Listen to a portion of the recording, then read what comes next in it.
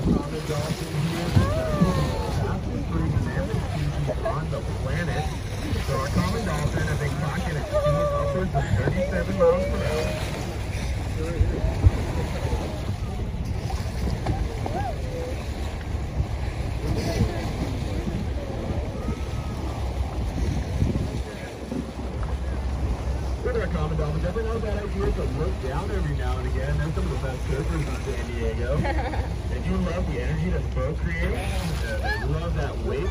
so they kind of have some fun surfing in those uh, So